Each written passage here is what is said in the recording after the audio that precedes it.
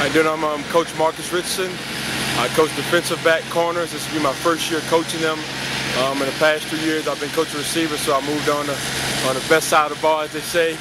Um, uh, this little brief, brief background. I, I played at Nicholls State University in Thibodaux, Louisiana, um, south southern part of Louisiana. Um, I play receiver. Um, my coach philosophy is, you know, I just believe in guys that you know that love the game of football.